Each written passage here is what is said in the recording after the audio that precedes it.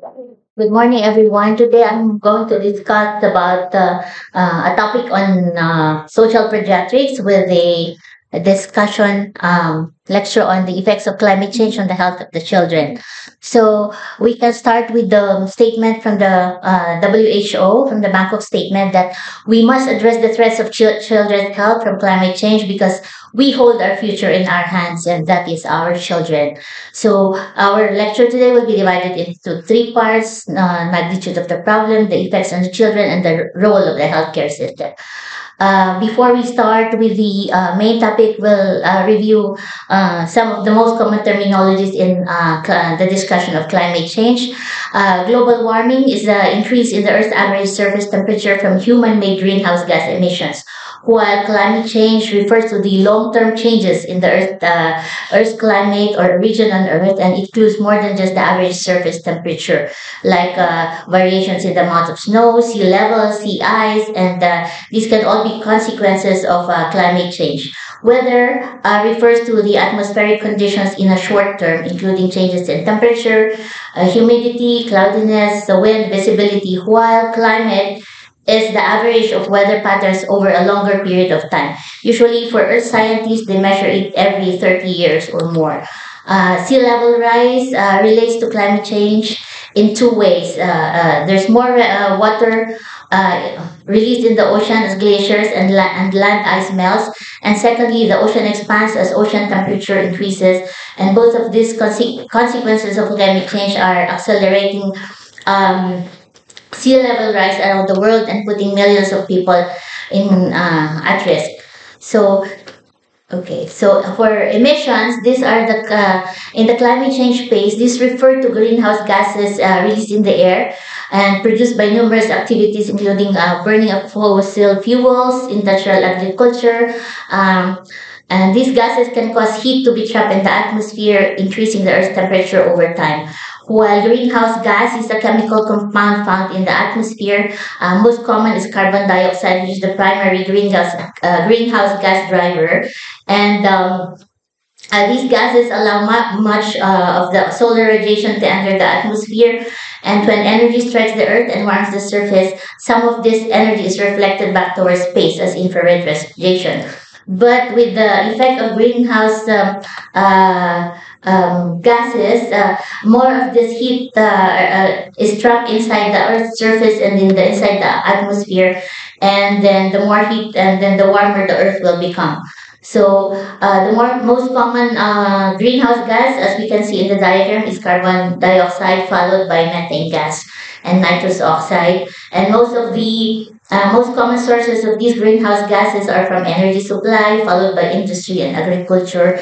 The least from waste and waste uh, water, which is only three percent. So this is the diagram how greenhouse gases can warm the earth more. Uh, so the greenhouse gas. Um, like um, traps like um, uh, solar radiation in the earth uh, earth's atmosphere and the earth's surface causing um, like warmer climate, climate and um, um, other other uh, like um, side effects so fossil fuels are sources of non-renewable energy formed from the remains of living organisms that were buried millions of years ago. And uh, as opposed to renewable energy, which comes from naturally uh, replenished sources such as the sunlight, wind, waves, and geothermal uh, heat.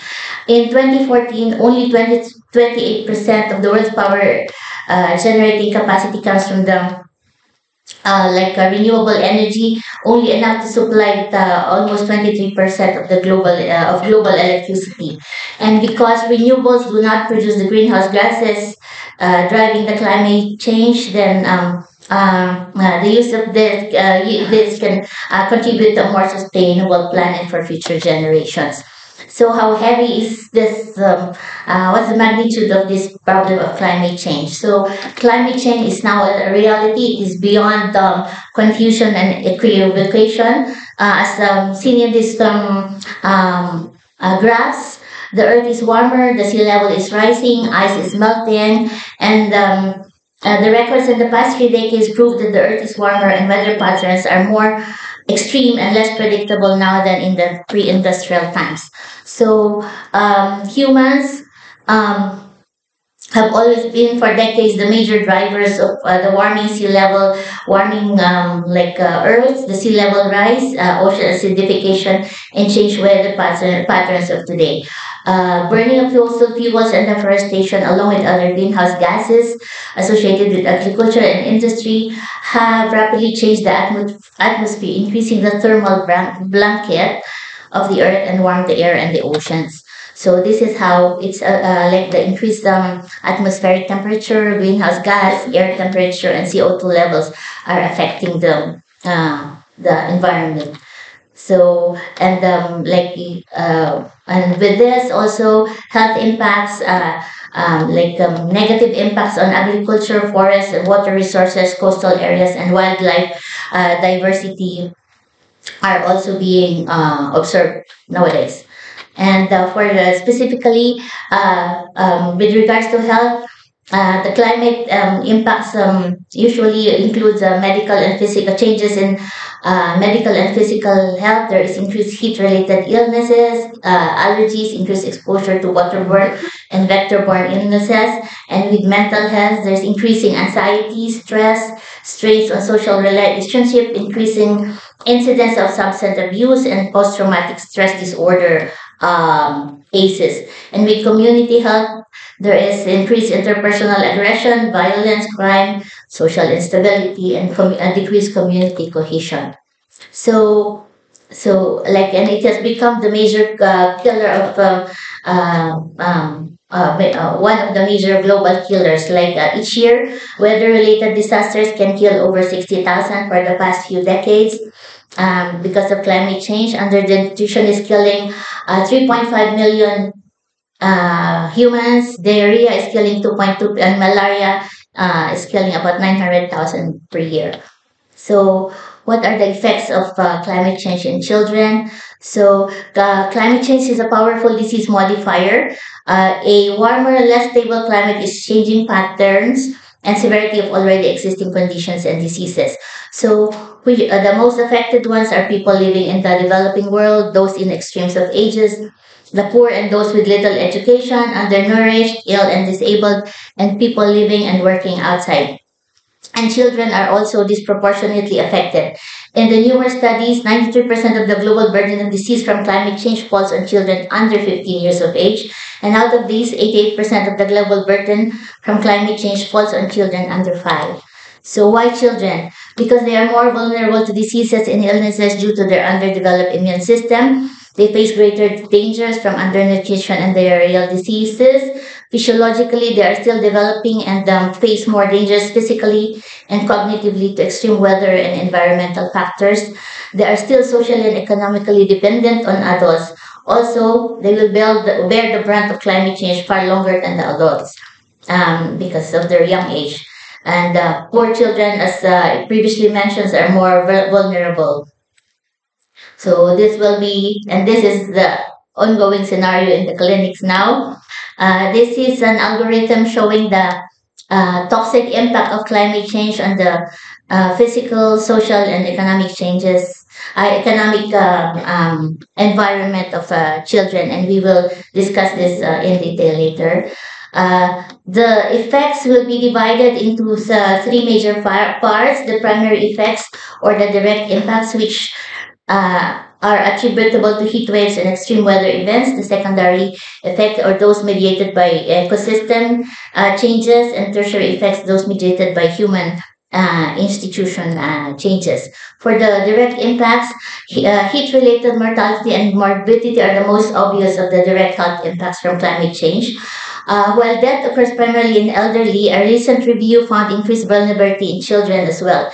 And um, uh, it has been um, seen that extreme weather events place children at risk for injury, loss of separation from caregivers, exposure to diseases, and uniquely high risk of mental uh, health con- consequences, including PTSD, depression, and adjustment disorders. Disasters can also cause uh, harm to children through devastation of their homes and neighborhoods. Also, adverse birth income uh, outcomes, including preterm births and stillbirths, are increased with uh, greater ambient heat. Uh, child labor in agricultural and other outdoor, outdoor child labor areas and adolescent at- athletes are also special groups where heat stroke deaths have doubled in the past de- decades. So again, why are they most uh, uh, why are children most heavily affected? Because uh, of their unique and different exposures. Usually, infants are confined and left in um, uh, seemingly safe places and overexposed to heat. Uh, they, uh, because of their immature thermoregulatory systems, they are more vulnerable. Uh, there is higher metabolic rate, increasing vulnerability to dehydration. They have longer lifetime to, to develop uh, long latency diseases. And for pre-ambulatory babies, they cannot remove themselves from heat. So, uh, and adolescents also are not recognizing danger, uh, making them more susceptible to this um, uh, harm.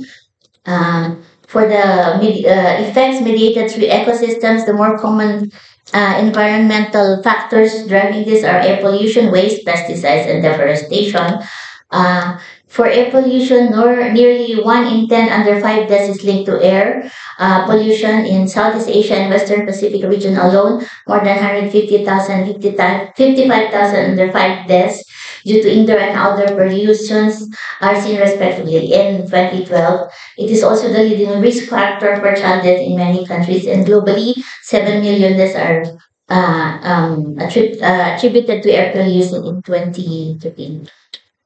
The air quality can be reduced to uh, through temperature-associated elevations in the ground level ozone concentration, increasing increased pollen counts, longer allergy season duration, wild, and wildfire smoke. All of these factors can exacerbate respiratory diseases, especially asthma in children. This is how climate change, pollen, and asthma are like um, interact to like uh, increase this uh, severity of this episode. So with increased uh, temperature and atmospheric CO2, there is like uh, increased uh, like earlier pollen season and longer exposure to increased exposure to allergens, increased sensitization to allergens, leading to increased severity of asthma and other respiratory and, uh, episodes and increased other increased frequency and prevalence as well. So again, uh, children are more vulnerable because of the physical location. They are lower to the ground and less mobile. Also, they have higher RR, so more exposure to uh, pollutants in the air is possible. The lungs are still growing and developing until age of eight. And the central nervous system is still growing and developing. Also, allergen exposures and immature Im- and immune uh, system contribute to their uh, vulnerability. Longer lifetimes, they have longer lifetimes to develop uh, long latency diseases, and they are also dependent upon adults for protections, which sometimes adults cannot provide. So, uh, determining the for the infectious diseases, determining the effects of this is complex because of confounding contributions of economic development, land use, changing ecosystems, international travel, and uh, commerce. But currently, climate warming has been seen to uh, cause expansion of Lyme disease in North America, increase the burden of childhood diseases, especially in Asia and Sub-Saharan Africa. Also, there is uh, it has contributed to the increased climate links to emerging infections like coccidioidomycosis and amoebic meningoencephalitis, and increased incidence in bo- uh, vector-borne illnesses like malaria, dengue, the emergence of Zika, uh, other tick-borne encephalitis, and other hemorrhagic fevers. Uh, the altered agricultural conditions also including in extreme heat, expanded we- uh, water demands, and increased severe weather events will affect um, food availability and cost and cost uh, leading to child undernutrition and increased water and foodborne illnesses. Uh, the decreased protein, iron, and zinc content of certain major crops also has been demonstrated for plants grown under increased CO2 conditions, carrying significant implications for uh, child nutrition. So, diarrhea is the most common uh, uh, manifestation of waterborne and foodborne infections, but the burden disease of disease have increased to 1.7 billion cases annually, with 441,000 deaths under 5 annually.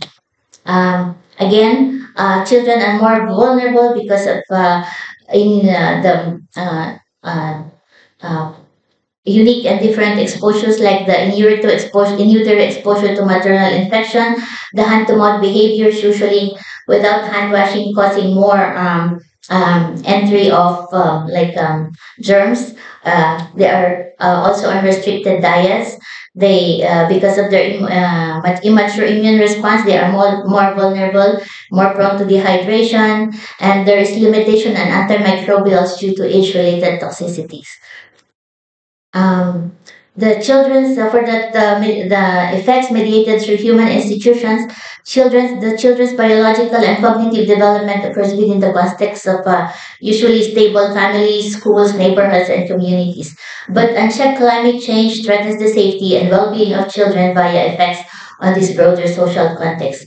Um, uh, the more commonly affected ones are nutrition, occupation, mental health, and then um, mental health and uh, exposure to violence. Uh, what is the role of the healthcare system in the protection of the child from climate change? So um, the WHO have uh, WHO have come up with adaptation and mitigation strategies to help us. For adaptation strategies, these are the policies that increase preparedness for climate associated changes. Uh, which because of past and ongoing uh, emissions are inevitable. I quote that the present health status of a population may be the single most important predictor of both the future health impacts of climate change and the cost of adaptation. So, um, we have a role in the direct patient care by optimizing immunization and access to care, uh, like uh, education and the use of UV heat, uh, um, air quality indices, early warning system and responses, and in the identification of vulnerable, uh, vulnerable individuals in the practice. Also, we can work with local public officials to develop a local climate-related health risk profile, develop low toxicity vector programs, and improve disease reporting and surveillance. And in the community, uh, we can educate patients in the protection of drinking water supply and quality, support local agriculture, and develop broader partnerships and programs across sectors and we have to focus uh, like uh, on children uh, by finding child-centered resources in the web or in books and uh, highlight some children's stories on uh, climate change effects. Uh, we can work with parents, teachers, and childcare workers and develop anticipatory guidelines for the clinic and the clinics and community. Uh, the uh, we have to empower the young people since they are the most um, uh, um, like the, they are protagonists for change and uh, these young people are well placed to contribute to the fight even now. Uh, they are adept at spreading new habits and technologies, and they are adaptable and can quickly make low carbon uh, lifestyles and career choices as part of their daily lives. Uh, uh, we can see this in the evidence of like uh, the rise of the number of like um, young um, climate activists. The most uh, famous is Greta Thunberg. Uh, for the mitigation strategies, these are uh, policies to prevent the most severe effects of climate change through reduction in the greenhouse gas emissions. And what we do now as global society about greenhouse gas emissions, energy choices, land use, and population control will determine how much climate change will occur in the second half of the 21st century and beyond, which is the era, this is the era now of uh, climate options. Uh, the approaches to mitigation um, um, like um, can be um, like um, through personal choices we can calculate our carbon footprint. This is how we uh, like this is a website that can calculate our own individual carbon carbon footprint. Um, bahrain has a high carbon footprint of an average of 19 metric tons whereas the global carbon footprint is only 4.5 metric tons. Um, Practice choices matters by greening the clinics and healthcare institutions, by education and innovation. Also, it matters, uh, like political choices matters uh, by educating uh, decision makers, advocating for policies and laws that can protect children's futures, and participating fully in the local political process. Uh, yeah, and enacting changes locally. Uh, we can find win-win choices like burning calories instead of carbon, uh, social time instead of screen time, uh, eating fresh, eating local, and eating lower on the food chain, uh, practicing energy efficiency uh, by promoting solar hot water and water conservation, adapting clean renewable energy over biomass use. Uh, mitigation strategies can feature the triple wins and the triple bottom line aim of climate change protection, which is uh, the aim is to have a sustainable planet, uh, a profitable enough economy, and healthy people. Um, I will end with the quote from the ex uh, from the former UN Secretary General, who said that this is the moral change of our generation. We cannot rob our children of their future. Thank you.